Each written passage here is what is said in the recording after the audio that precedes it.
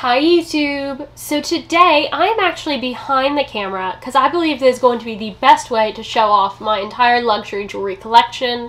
I've gotten a lot of questions about different pieces in my collection, different things that I enjoy, and I thought that it would just be easiest to make this video where I get to show them off. But my first attempt at filming this video, you couldn't see the pieces that well, and so I feel like getting me out of the frame really allows the jewelry to stand out. So hope that you have hit the red subscribe button down below and let's get into showing off some wonderful luxury jewelry pieces. So up first is going to be from David Yurman, and I'm going to move through different necklaces, bracelets, earrings, rings, all of that. But I wanted to start with some of my chunkier pieces, and this is definitely my biggest one. So this is going to be the cable link necklace, and I'll have the official name for all these pieces down in the text below, as well as links in the description to the ones that are still available. I absolutely love this piece. This is actually a very special piece to me, as it is an inherited piece. But one of the things that I really want to point out about this necklace is the super cool closure about it. So if I were to move this around as necklaces often turn, you really don't see a clasp. And that is because it's hidden, but the classic David Yurman charm is actually beside the ring where the link is. And so it's just a simple link on and off.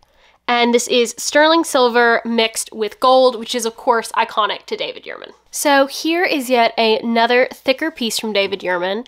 And this is mostly sterling silver, but on this particular band of the chain, it does have some gold links mixed in. Now, I feel like that this is a more elegant chunk compared to the previous necklace that I just showed from David Yurman. This has a lot of their iconic cables in it. So this has a super cool clasp and it's a squeeze and then it comes off and then just clips back together. So I think that is a super cool piece. Again, this is another inherited piece for me but I think that it's absolutely stunning. And as far as my thick necklaces go, this is probably to me my favorite and my most wearable. Now, next up is going to be another of my favorite thicker necklaces, and that is my Return to Tiffany toggle necklace. Now, this necklace does come in a couple of different versions, and this necklace always comes with the heart charm on it. My grandmother actually personalized this for me, and so they changed out the heart to this circle charm because the circle is more me. This also comes with the toggle or without the toggle. When it comes without the toggle, the necklace is going to still have that same chain, but the chain is going to go all the way around and then a big thick lobster clasp in the back. Now, in addition to the necklace version, there's also going to be versions that are in the bracelet form as well, and if I can get my mother to allow me to, I'm going to also insert a couple of clips showing her version with the heart as well as her heart bracelet. Continuing on with Tiffany, another one of my sterling silver necklaces from there is going to be my Tiffany key. Now, the Tiffany keys are no longer made in sterling silver in this size. The only sterling silver keys that they do come to about half this size. Now you can absolutely find sterling silver keys on the resale market and if I can I will show my mother's key as she has was probably the most traditional of the Tiffany keys. If you haven't watched it yet, I do tell all about the story behind this Tiffany key in my sandwich story tag video, which I will link hopefully above and also in the description box below. Now, one last piece of sterling silver necklace wear from Tiffany is going to be my most recent piece of Tiffany, and that is my 1837 pendant. It is called that because on the pendant, if it'll show up, this does say T and Co. and it has 1837 going along it. And this is actually on both sides, so even if the necklace turns, it still has that same look. I really think that this is an extremely nice size in a necklace because it's not something that's going to overpower, but it does still give enough oomph while looking elegant. So I think that this is absolutely a wonderful piece of Tiffany if you are looking for something on the lower priced end. Switching back to David Yurman, this is going to be a, another piece of their sterling silver, but this is their sterling silver with a little bit of diamonds. So it may not show up on the camera, but there are diamonds on that little crossbar. And the thing that I think is neat about this pendant is that each of these rings actually moves independently. Um, now they stay stationary together, but this helps keep the piece laying really nicely on. Another thing that I want to note about most David Yurman pieces is that it does have two links where you can hook on different links of the necklace. So this is a little bit shorter and then it has about an inch more where you can lengthen it. That is one thing about Tiffany pieces is that you really don't have that versatility in length, but that is another thing to note about David Yurman. Now, if the Tiffany 1837 circle pendant wasn't up your alley and you want something with a bit of diamonds, I really think that this is a beautiful piece from David Yurman and is part of their circle collection. This does have cable as well as diamond paving and just the solid sterling silver. They also make versions of this that are in the mixed gold. Again, it does have the adjustable links in the back of the necklace. I think this is a wonderful choice if you're looking for something professional. It's actually what I wore in my professional headshots. And because it has the diamonds on it, I think it's a piece that can go perhaps slightly more dressy than the Tiffany one, um, but it can also be very casual at the same time. Now, this is going to be another inherited piece of mine. This is the bigger version of the circle pendant necklace I just showed you. It does have more loops going around, and this particular one, it may not be showing up very well on the camera, but does have the gold. Now, the bigger version, what is super unique about it is its clasp. And let me take it off to show it to you. It has this pull string barrel clasp and so you actually are able to pull it and lengthen or shorten the necklace. Let me see if I can show you that while it's hanging up. So I can pull this out, the necklace lengthens, and then I can pull these two strands and shorten it. This necklace will go very, very long. So if you want something that's going to be versatile, very, very versatile in terms of length, this is a wonderful choice to go with from David Yurman. So this piece that I'm showing you now doesn't come as a necklace. This charm is independent and has a clasp where it can come off, be put on this chain or any other type of necklace. The chain itself is extremely long. And so again, this is a wonderful choice for someone wanting to have maybe different pendants with the same type of chain. They do make various charms. This charm is actually part of the Lexington collection and it is the one without the diamond. They make a version that is slightly shorter this direction, slightly longer up and down, and that has diamonds on these crossbars. Here's, and I think that this is a wonderful choice. They make a different necklace with this same type of charm, but the one with the diamonds and a thick chain that goes around that they sell as a set. They also sell the charms independently and the chain independently. I'll insert a picture of the chain that I think is beautiful, wonderful necklace on its own, and it's something that I would love to have so that I could switch out which chain I have this pendant on depending on the length that I want it. Now with this chain it is not adjustable, so make sure to pay attention to that when looking at David Yurman chains.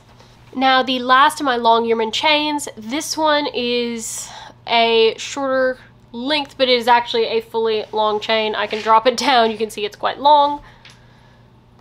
But if I pull this back up, the chain itself is very unique because it is more of a gunmetal finish as opposed to that shiny silver of the last chain. Additionally, this is a cross charm that comes off, so you can put any type of charm or no charm at all in the chain. And then this is just a little sweet green charm.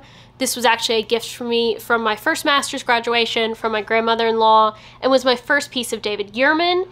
And so I love the green. My birthstone is emerald. It also happens to be the month I graduated.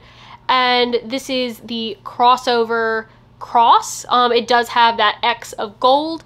So if that's something that you're interested in, I think this is a really beautiful option for a cross that's a bit more modern than what a lot of people normally pick. Now, if you want a bit more of a traditional cross, and I am sorry that this velvet is extremely dusty. It lives at my parents' house with costume jewelry on it, and I just stole it back to use this for this video, so it is very dusty. But this is a different charm. It is still a crossover charm because it does have the gold, but this one also has the diamonds in it, and it's much smaller in size than the other cross, so it's a much more dainty look. Now, this did come with the chain, and that chain again has adjustable length, so it can go there or here on this one. So if you're wanting a more delicate cross, this is a really pretty option as it does come with both the gold and the diamonds and it's very, very affordable for a piece that has gold and diamonds on it.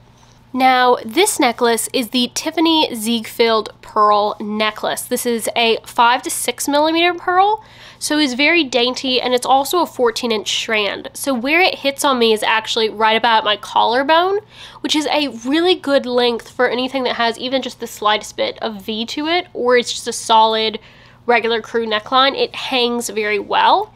This is also a good size of pearl it's not so big that it looks fake, but it's also not so tiny that it looks like it could just be pulled off with a really easy snap.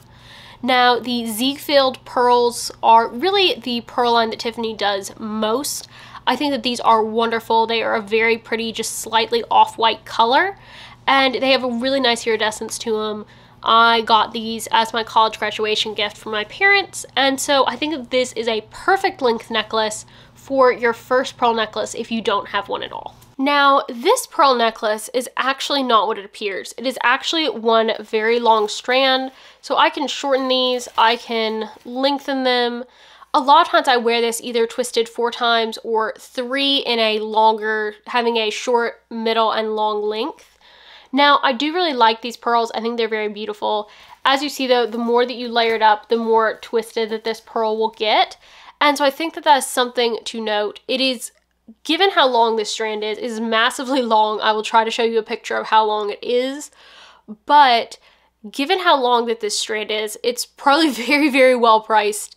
And it gives you versatility in how you wear this necklace because you can either layer it up like this, wear it very long, wear it with multiple different layers at different lengths.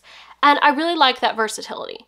Now, if you don't want the versatility and you want something that's going to be more stationary on your neck without having to wrap and unwrap it all the time, I would go with this necklace and that is the Torsade Pearl Necklace.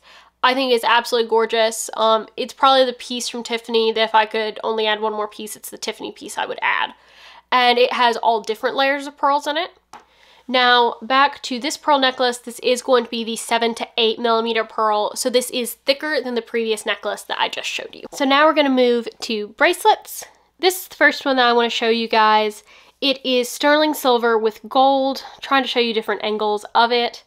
And this one is an inherited piece. It is no longer made, but you see the sculptural detail in this piece a lot. Um, now, this closure on the back does not change, so when I do go to take it off, it is a little bit of a pull and a struggle. But this is a medium-sized. If I were picking it for myself, I might have gone with the small, except for this closure, since it doesn't move. These are two of the more classic cable bracelets. The crossover has the gold X on it with the closure on the back. Now, these will scrunch down or expand so I can get them off easily. And then, of course, the one on the right is my favorite bracelet, and that is the David Yurman Classic Cable Pearl. It does have the gold beside the pearl. They now also make a version with rose gold on it. And all types of different color stones come in the classic cable range as well as different thicknesses. I'm wearing a size small, and I believe this is the 5 millimeter thickness. And I think that these are absolutely wonderful, perfect bracelets to stack together or wear on their own. Now, if the classic cable isn't your thing, this is another piece from David Yurman. This is the link bracelet, and it has a hidden link closure, just as that necklace did that I showed you initially. Now, this is the all sterling silver version. As you can see, it alternates between plain links and the cable links. Now, the one thing that I will say about this bracelet is hard to get on and off by yourself because of the hidden closure link. But it's very beautiful and they do all types of different widths as well as mixed gold and solid gold in this bracelet. One more bracelet to show you, and that is going to be my Louis Vuitton bracelet. I don't believe this exact one is made anymore. It does have the vachetta leather as well as the small monogram going around the sides. The lock does say Louis Vuitton Paris on it, and then it just clips here to open, pull apart, and then it snaps back into place. So just wanted to show that really quick, even though it's not necessarily luxury jewelry, it is from a luxury fashion house. I also just realized I totally forgot to show my two favorite necklaces from David Yurman. And that's going to be, first off, this crossover necklace, which I think is super cool. One, because you have one side that can be more gold, still showing silver, or you flip it around and you get more of the silver cable, less of the gold. Again, it has the adjustable links, so love, love, love this. It's probably my most worn of all of my necklaces. My other necklace I was actually wearing while filming this, and that is my G initial necklace. Now, there are multiple different initial necklaces from David Yurman. This is the gold, so it is going to be the smallest one, and it does have diamonds in the initial. The version that is sterling silver, this is actually smaller than a dime. The version that is sterling silver with the diamonds is going to be about nickel size. Then they also have a sterling silver version, again about nickel size, that is going to be without the diamonds, so therefore going to be less expensive. Now before moving in to rings, I of course have to talk about my Cartier watch. That comes in its wonderful red box. This is going to be the Cartier Tank watch in the small model in the steel. They do make it in a mixed metal as well as a gold, those are substantially more expensive than this watch. This is going to be one of the most affordable as well as one of the most iconic watches. This is the Francaise Tank watch and I absolutely love it. It is extremely light and comfortable. If you've looked at luxury watches like Rolex, you'll know how heavy those are and this is not that way at all. It also has a very long warranty, even including the battery for eight years. So that's something to note in that this is a watch that as long as you wear it and take good care of it, you'll be able to wear the rest of your life. Now, it should go without saying that I obviously would not be wearing all these rings on my finger at the same time, but I felt like this was going to be the easiest way to talk about them. So first up on my thumb, I have another inherited piece, and this is going to be a ring that is no longer available, though there are some similar ones and you can find it pre-loved. This one has diamonds as well as the sterling silver and the gold band running in the middle. It is a very thick ring, but extremely comfortable. The, back, the backside is just sterling silver. Now, moving on to probably my favorite ring. This one is again sterling silver. It's part of the Renaissance collection. And again, no longer available. It is an inherited piece. But this has pave or pave diamonds, depending on how you choose to pronounce it, running all along the sterling silver and on the two ends.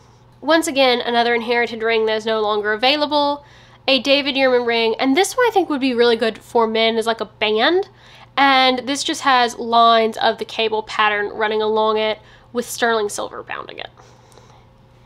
Now this last ring is my only ring from Tiffany. It is part of the Tiffany it is part of the Tiffany 1837 collection, having Tiffany & Co. as well as the 1837 stamp on it. And I love this ring. It is concave, so this ring cannot be sized at all. And that is important to note is that some of these rings cannot be sized. I believe this one is the only one that can. So make sure to ask those questions if you're someone whose hand fluctuates a lot with their ring size. I do have one pair of earrings from a luxury house, and that is going to be the David Yurman uh, crossover earrings. So this has gold with the sterling silver cable.